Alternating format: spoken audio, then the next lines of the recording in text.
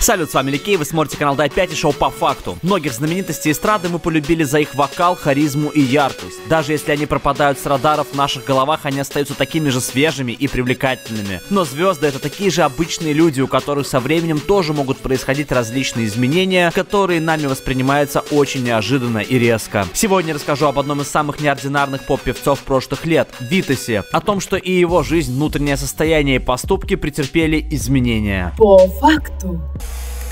Витас, он же Виталий Грачев, родился 19 февраля 1979 года в Даугавпилсе. Это один из самых крупных латвийских городов. Довольно быстро он с семьей переехал в Одессу, а уже в 16 лет в Москву. Витас поразил всех своим удивительным фальцетом. Бесспорно, как сейчас говорят, взорвал он своим хитом опера номер два с альбома «Философия чуда», которая вышла в 2000 году, когда артисту был 21 год. Даже если творчество Витаса вам не по душе, да и если вы с ним особо не знакомы, эту композицию вы слышали наверняка.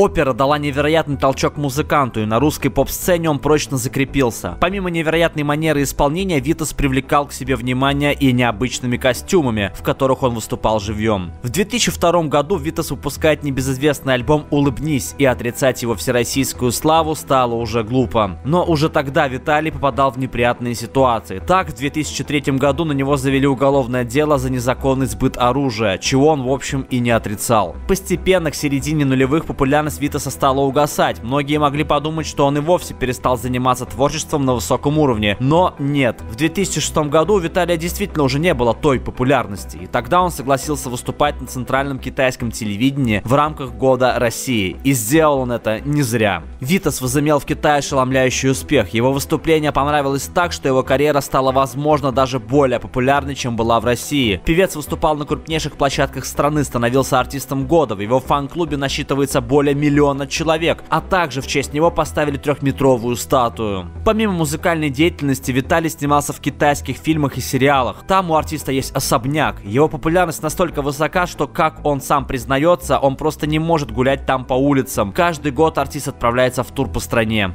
Одна из главных проблем Витаса – водительские права. Эпопея с ними тянется долгие годы. Еще 11 лет назад артиста лишили прав почти на два года за вождение автомобиля в нетрезвом виде. Наручники, я его нагружу, Правда, после этого он получил украинское водительское удостоверение и тут же снова серьезно нарушил ПДД. Весной 13 года Витас наехал на велосипедистку. Его тут же окружили свидетели, которым он угрожал пистолетом, однако в полицию он сдал муляж. Позже он ударил одного из полицейских, а других оскорбил петухами. За удар полицейского его обязали лишь выплатить штраф 100 тысяч рублей. Искренние э, человеческие извинения девушки Ольги, которая пострадала в этом ДТП. Э, Все это произошло по моей неосторожности и по моей невнимательности.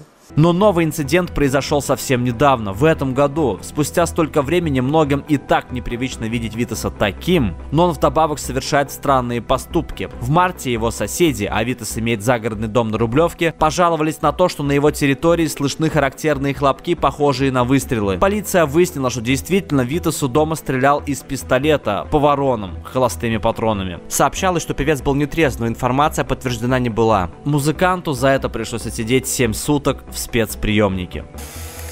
Я буду рад как Витас, который чувствует себя спокойно, если ты подпишешься на канал, а также предлагаю посмотреть тебе эволюцию ютуберов и 10 самых классных телеграм-каналов.